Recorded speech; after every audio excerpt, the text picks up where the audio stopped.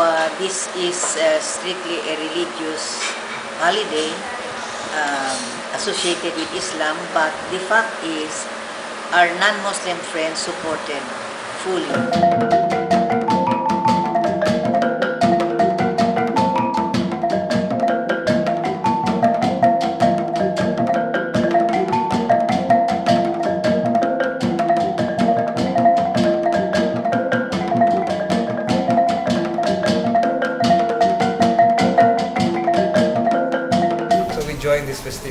Just as a, as I've said, a minor supporter in providing traffic management and uh, providing the tarpaulin space for the festivity, but uh, giving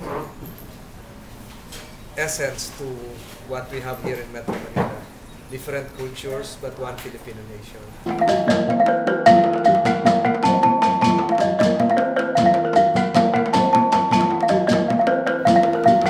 Wondered why this important and joyous Muslim holiday is not more widely celebrated in the Philippines. Uh,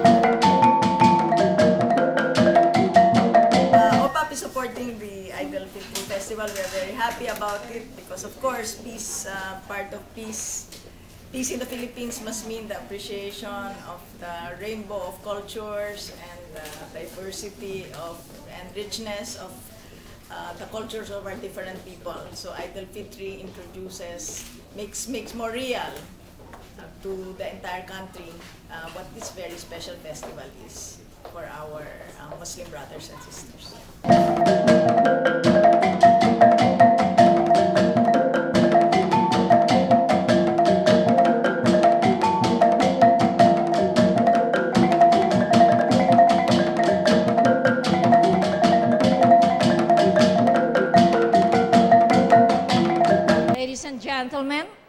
The able, increasing popular Vice President of the Republic of the Philippines, the Honorable Jejomar Binay.